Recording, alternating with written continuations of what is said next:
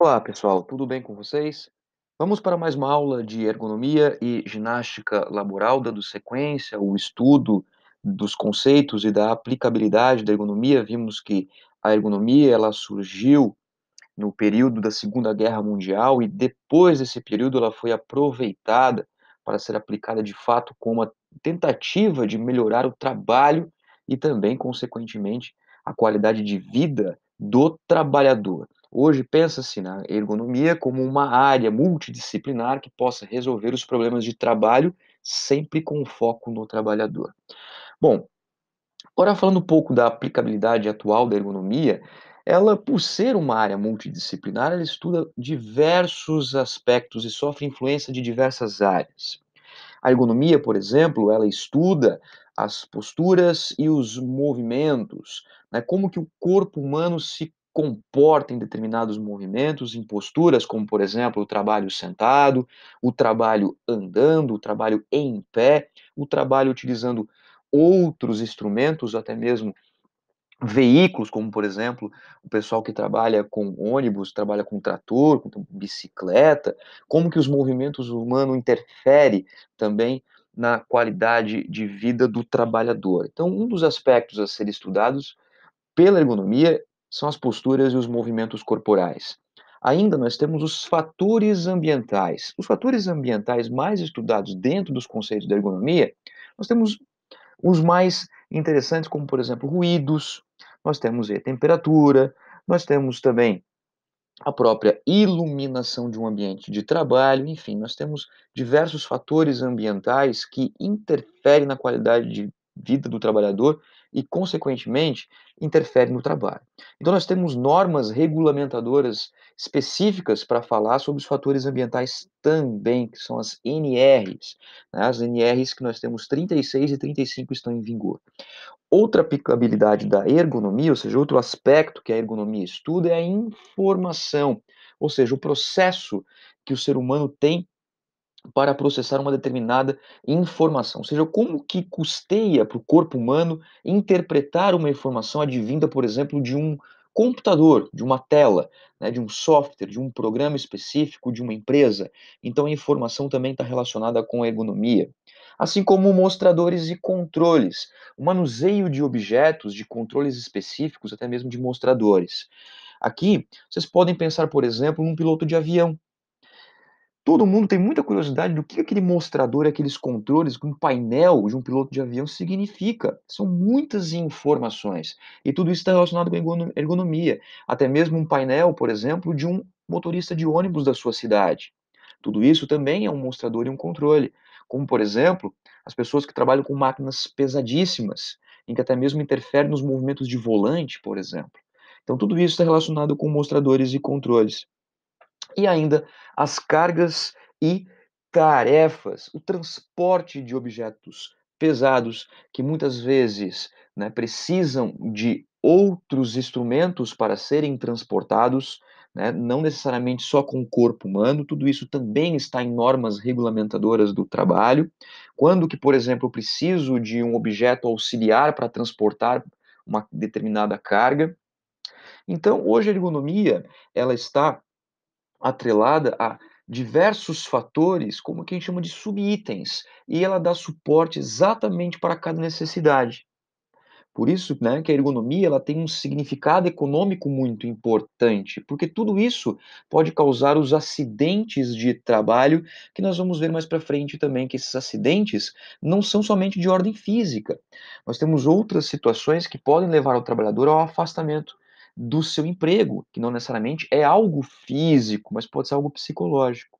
Então, o significado econômico da ergonomia está relacionada com a redução dos gastos à saúde, principalmente para melhorar as condições de trabalho.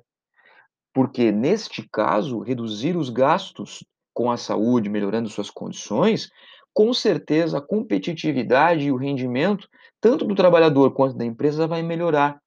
Mas não pensem que essa competitividade é no sentido de egocentrismo, de egoísmo. Não. Mas é no sentido de se tornar uma empresa realmente forte no mercado de trabalho, seja ela de pequeno, médio ou grande porte. E aquele funcionário que ele sabe que pode contribuir para uma empresa, no seu crescimento financeiro, social, é muito importante para esse trabalhador. Ainda, como todo produto final, melhora então a qualidade de trabalho e a qualidade de vida do trabalhador. Lembrem que a ergonomia, ela muitas vezes não vai conseguir sanar todos os problemas, mas pode evitar.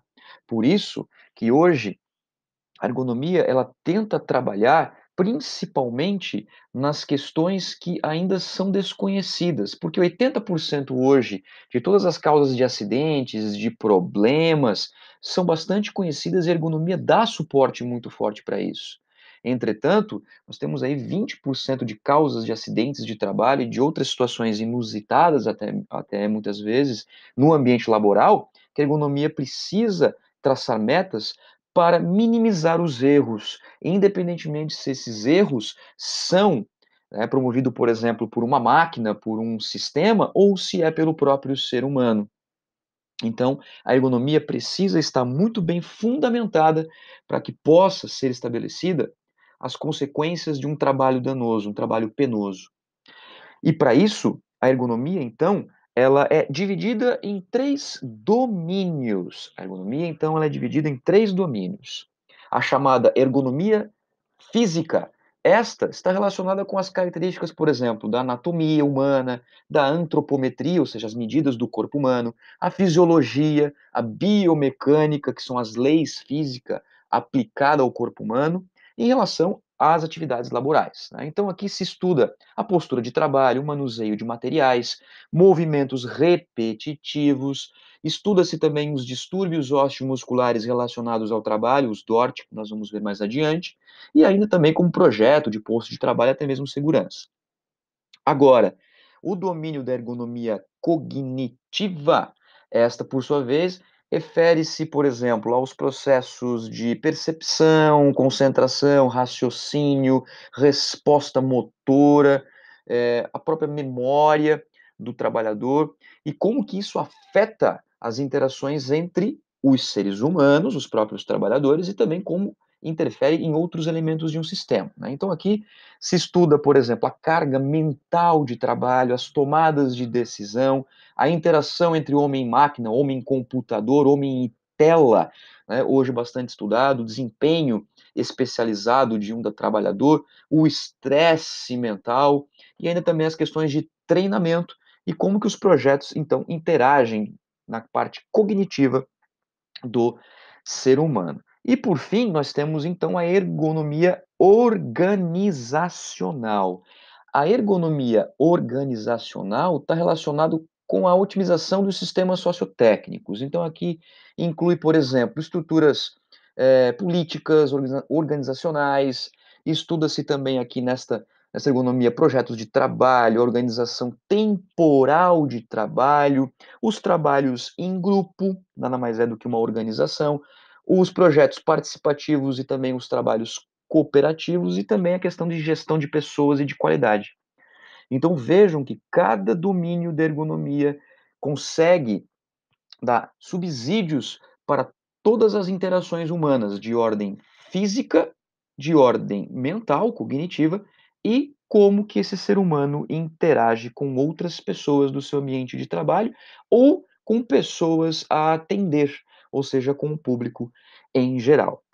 E para começar a estudar ergonomia, nós vamos então é, falar bastante sobre a ergonomia física. E para falar da ergonomia física, nós vamos falar sobre posturas e movimentos, onde três tópicos, ou seja, três subdomínios do domínio da ergonomia física dá suporte, nós vamos estudá-los, que é a biomecânica, a fisiologia e a antropometria. Cada um tem a sua especificidade, as suas particularidades, as suas aplicabilidades para a ergonomia, com a intenção de melhorar o trabalho e a condição do trabalhador. Tá ok? Então não esqueçam dos três domínios da ergonomia: ergonomia física, ergonomia cognitiva e ergonomia organizacional. Tá ok? Dúvidas? Tragam para a sala de aula. Agradeço a atenção de todos vocês, um forte abraço e até o próximo vídeo.